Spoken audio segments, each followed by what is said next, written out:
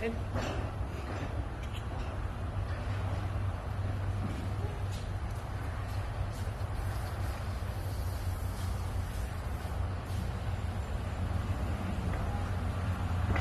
Found her tickle spot. That feel good, Ruby?